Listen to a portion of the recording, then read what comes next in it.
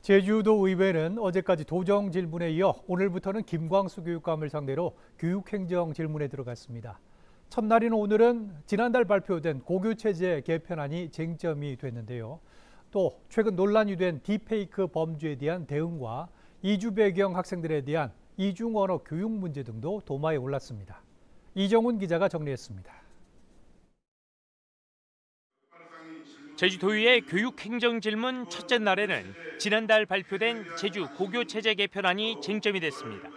도내 대표 특성화고인 제주고와 제주여상을 오는 2027년부터 평준화 일반고로 전환한다는 이번 개편안을 두고 동지역 일반고로의 학생 쏠림이 가속화돼 읍면지역 일반고등학교가 위축될 수 있다는 우려가 제기됐습니다.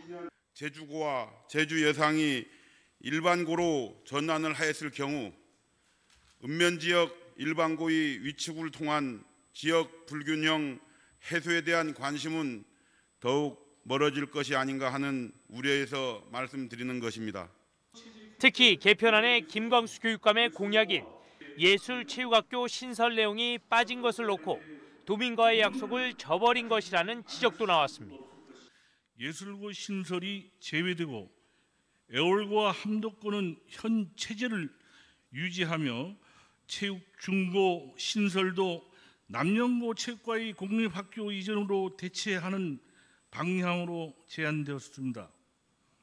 본 의원은 납득할 수 없는 추진계획을 제시했다고 판단됩니다. 답변에 나선 김광수 교육감은 현재 예술계열 학과를 운영하는 함덕고와 애월고 두 학교가 어느 한쪽으로의 통합을 희망하지 않는 상황에서 공립 형태의 예술고 신설은 어렵다고 답변했습니다. 하지만 학령 인구 감소 등으로 학교 통폐합 등이 이뤄지고 유유 학교가 생겨나면 예체능 학교 신설 가능성을 열어놓겠다고 덧붙였습니다. 만약 제가 못 세우면 어떤 교육 독재가가 사립으로 세울 수도 있는 문제이고 또는 또는 어떤 제3의 장소에 어떤 다른 어떤 생각을 했을 때 저는 다 열어놓고 있다는 뜻입니다.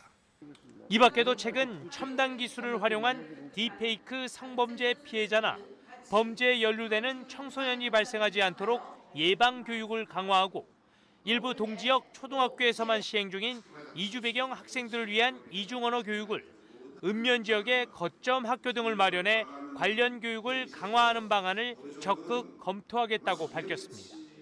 KCTV 뉴스 이정훈입니다.